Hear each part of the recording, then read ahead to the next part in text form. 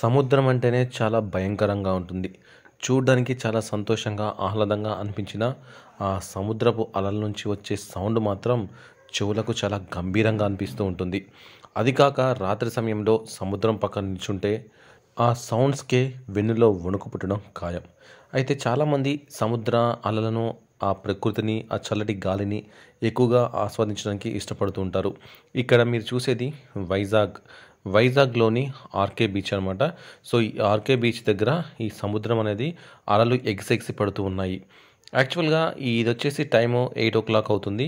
ఆ రోజు అమావాస్య కాదు పౌర్ణమి కూడా కాదు. కానీ ఎందుకో అలలు మాత్రం చాలా గంభీరంగా కనిపించాయి. దిగడానికి కూడా ఎవరు సాహసించలేదు. చూస్తున్నారు కదా మీరు ఈ వైజాగ్ ఆర్కే బీచ్ ప్రాంతంలో ఒక్కళ్ళంటే ఒక్కళ్ళు కూడా లోపలికి దిగే సాహసం చేయలేదు. సో ఎందుకంటే అలలు అంత ఉధృతంగా వస్తున్నాయి. మాకు ఆ ప్రాంతం నుంచి అంటే మన ఇప్పుడు ఈ గట్టుపై నుంచి ఇట్లా నడుచుకుంటూ పోతుంటేనే ఎక్కడ అలలు మీదకు వస్తాయో అంత భయంకరంగా ఆ రోజు ఎందుకో సముద్రం చాలా గంభీరంగా కనిపించింది.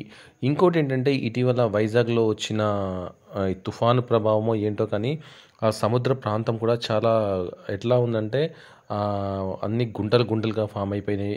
అంత వాటర్ కూడా ఆ గుంటల్లోకి వచ్చేసాయి.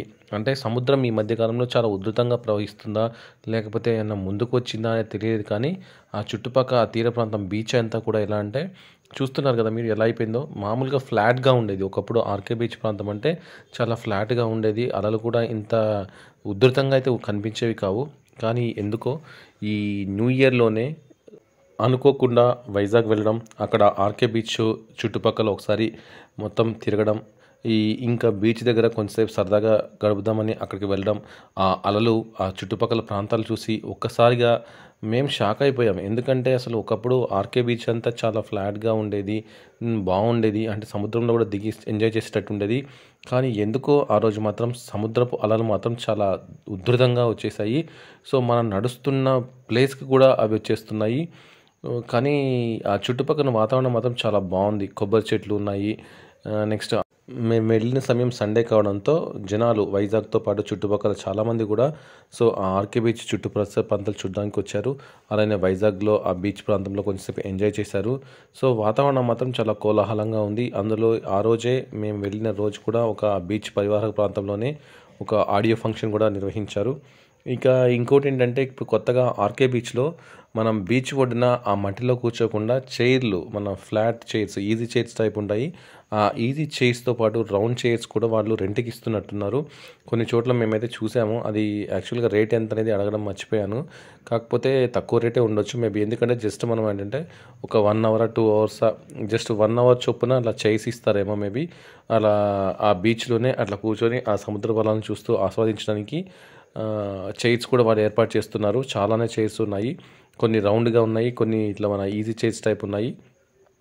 ఇంకా అలా చూసుకుంటూ ఆ ప్రాంతాన్ని ఆ సముద్ర పొలాలను చూసుకుంటూ అలా ముందుకు వెళ్ళింది మా ప్రయాణం. సో ఈ మధ్యలోనే కొన్ని కొన్ని తిరుమండరాలు అలానే కొంతమంది సరదాగా ఆడుకోవడము పిల్లలతో సరదాగా ఎంజాయ్ చేయడము ఇలా మొత్తం కూడా సరదాగా సాగింది. కాకపోతే సముద్రము ఎందుకో ఆ రోజు అంత ఉద్ధృతంగా రావడం మమ్మల్ని చాలా ఆశ్చర్యపరిచిందని చెప్పాలి. ఇంకా వైజాగ్లో ఆ రోజు సండే కావడంతో ఎక్కడెక్కడి నుంచో పర్యాటకులు వచ్చారు. దానివల్ల మొత్తం ట్రాఫిక్ కూడా జామ్ అయిపోయింది. ఆ బీచ్ రోడ్ నుంచి వెళ్ళాలంటేనే చాలా మంది భయపడిపోయారు. ఇంకొకటి ఏంటంటే పార్కింగ్ ప్రాబ్లం కూడా ఉంది. కాబట్టి చాలామంది రోడ్ల మీదే బైక్ పార్క్ చేశారు కారు కూడా పార్క్ చేశారు. సో దానివల్ల చాలా ట్రాఫిక్ ఇబ్బంది కూడా కలిగింది. కాకపోతే వీకెండ్ కాబట్టి పోలీసులు కూడా ఇక లేక కొంచెం ట్రాఫిక్ని కొంత కంట్రోల్ చేశారు. కానీ ఆల్మోస్ట్ చాలా జామ్ అయిపోయిందని చెప్పాలి. ఇంకా తర్వాత వచ్చేసి ఆ రోజు ఒక చిన్న ఈవెంట్ కూడా అక్కడ బీచ్ ప్రాంతంలో జరిగింది. సో అవి ఈవెంట్ కూడా చాలామంది వచ్చారు. చూస్తున్నారు కదా ఈ బీచ్లో గుర్రాలు కూడా ఉన్నాయి. గుర్రపు స్వారీ కూడా చేయిస్తారు. మ్యాక్సిమం ఒక హాఫ్ కిలోమీటర్ ఏమో ఆ గుర్రం మీద అట్లా నన్ను తీసుకెళ్తారు. దానికి ఒక హండ్రెడ్ రూపీస్ ఏమో ఛార్జ్ చేస్తున్నారు. ఇంకా ఫుడ్ ఐటమ్స్ అన్నీ అవైలబుల్ ఉంటాయి. నెక్స్ట్ చుట్టుపక్కల ఆ బీచ్ నుంచి ఆ బ్యాక్ సైడ్ ఆ లైట్ సెట్టింగ్ అంతా కూడా చాలా బాగుంది. ఇలా సాగింది మా వైజాగ్ ప్రయాణం.